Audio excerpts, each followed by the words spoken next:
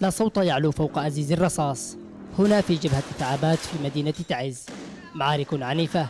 استطاعت المقاومة من خلالها تحرير العديد من المباني التي كانت تسيطر عليها الميليشيات والتقدم باتجاه حي قريش وهو واحد من الأحياء الذي تتمركز فيه الميليشيا.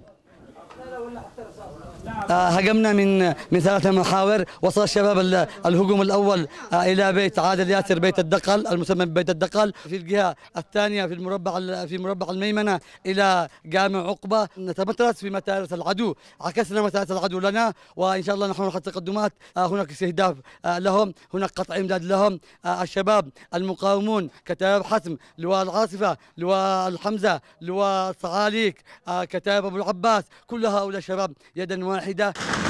معركة تعابات التي تقول المقاومة أنها جاءت مباغتة بهجوم شنه مقاتلوها ضد معاقل الميليشيا. تعد جزءا من جبهة المدينة التي لم تغب عنها المعارك مع استمرار قصف الأحياء شبه اليومي في ظل فرض الحصار منذ أكثر من عام.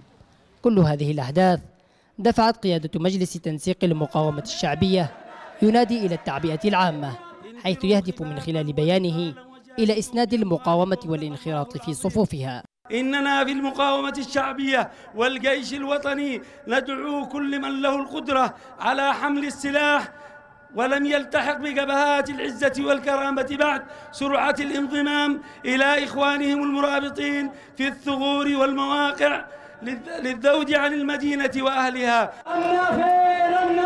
تعد هذه المرة الثانية التي تدعو فيها المقاومة إلى فكرة التعبئة العامة. وهو ما يترك تساؤلات عدة أبرزها هي هل ستساهم هذه الفكرة بحسم معركة تعز؟ ولو بكسر الحصار عن المدينة أم ستذهب كسابقاتها في ظل التزام الحكومة والتحالف موقف المتفرج من هذه المدينة؟ بينما تسلك المقاومة والجيش الوطني كل الطرق لتخليص المحافظة من قبضة الميليشيات الانقلابية وقوات الرئيس المخلوع. حمزة أمين قناة بلقيس تعز.